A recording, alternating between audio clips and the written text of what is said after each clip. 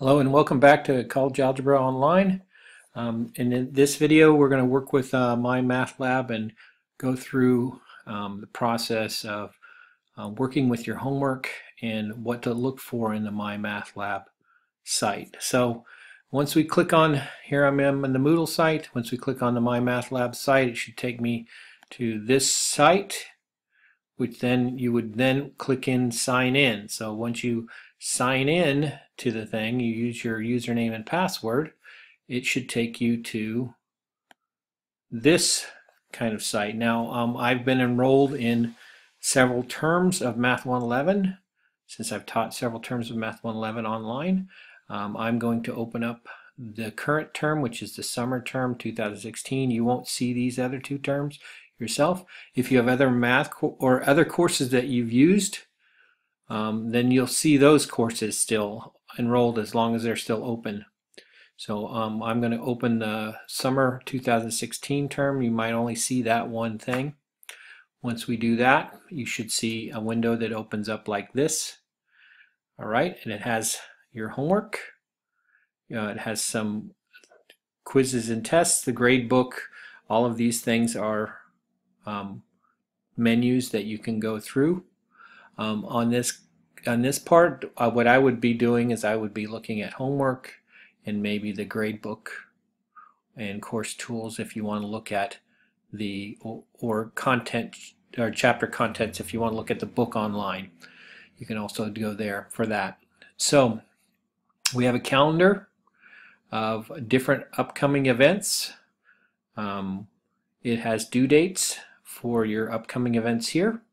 You can scroll through the calendar and see the um, due dates. If you see if you see a little clock that tells you it's going to be due. Now um, I have just put everything online for the first week, um, but these things will be moving due dates um, into the future due dates. There will be some on Saturday. You'll see them change. Right now I've just entered them all on the first date, but I will be changing those in the next couple days. Before you get on it, you'll see different due dates. So um, I'm going to look at, I just entered them all in right here at this one, so they're all listed here. Um, I'm going to go into one of these and we're going to look at some homework and we'll see what that looks like. Now this also shows your progress on your homework, how much you've turned in. It tells you how you're scoring on your homework. Um, if you are having problem with your browser, you might want to run this browser check. Um, you also may want to see how you enter answers or learn about how to enter in the notation. You could click on this link as well to help you enter the answers in correctly because most of the times that's where students have the most difficulty is entering in their answers incorrectly or just misinterpreting the the different um, terms that they have to put in, different notation. All right, so we're going to look at an example of an assignment. I'm going to go to uh, section 1.4. We'll open that up. We're going to go into question number 9. Right now we see that I haven't done anything on this at all, but we'll, let's look at question number 9. We open it up. The question is loading and hopefully we will have a question here soon to look at.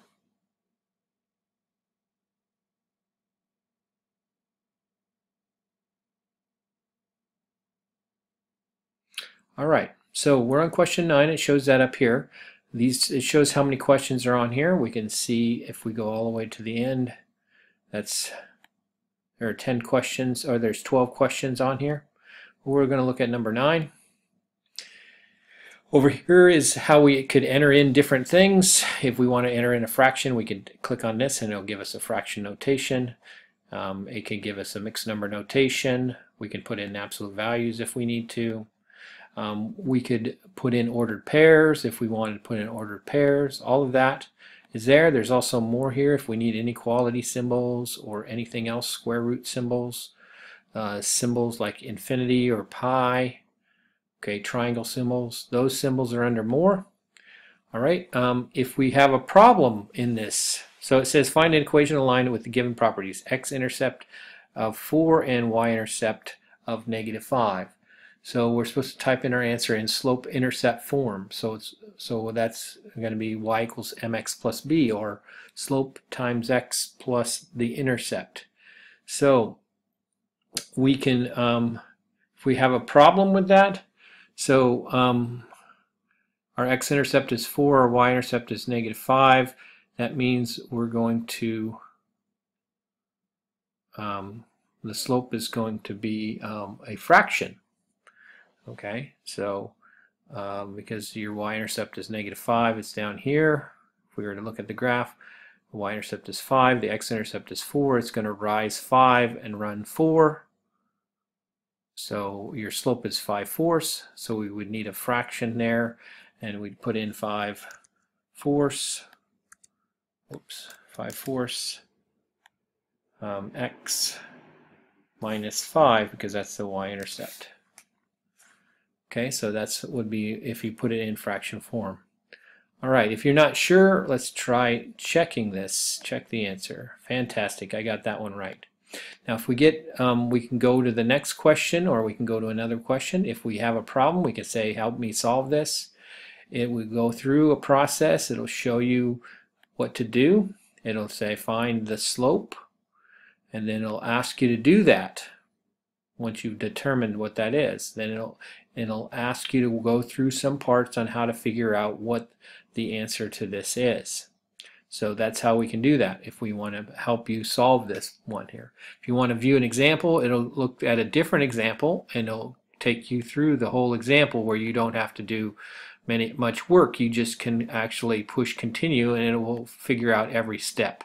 So help me solve this is where you have to do some work as it's doing the problem, which is helping you solve that. And view an example is a different problem where they're actually going through the whole thing. Now you can click on the textbook, it'll take you to the section. You can click Ask My Instructor. If you click on this, it will send me an email and I will get your question and and then I can respond to that. So you can send me a question if you're having a problem with how this is answered. I've answered several questions on this in the past, so that's how you would do um, do the homework. You want to work through all of the problems. You can go in any order you want as you work through them.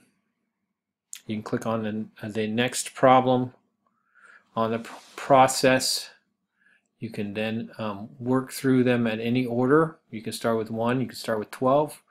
Um, you can work at any pace you want. You can start in section 1.2 um, if you'd like and work your way around. Okay, so that's how you do your homework.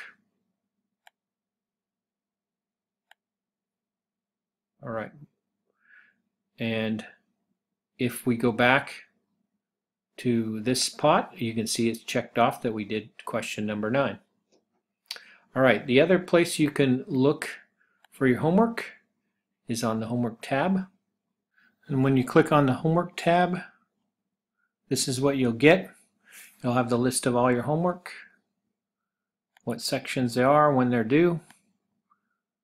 You'll be able to see all the homework for the whole term um, in an order. You're going to do the orientation and you're working on this, these sections here as you see them. So this gives you uh, how many attempts you've made, what your score is, how much time you've spent on them. All right, so you can click on your homework there and you also see that. Now you can also click on the gradebook. The gradebook will allow you to see your grades as you progress through each of these sections. So I shouldn't have any grades because I don't have any, I haven't done any work yet, but if as you go through your sections and complete them, you should see your grades under this gradebook section.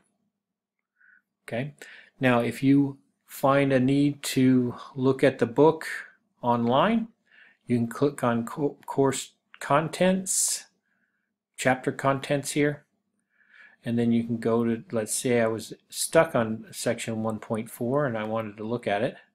You can click here, you can watch videos about 1.4, you can do the e you can look at the actual textbook. If you click on the textbook itself, it will load up the textbook um, for section 1.4 and this should look exactly like the book if you purchased a book it should actually look like the textbook that you have purchased so and it just allows you to scroll through the book and look at each section so we're still loading the book but it should look very similar to actually should look exactly the same unless you have an older book that you purchased.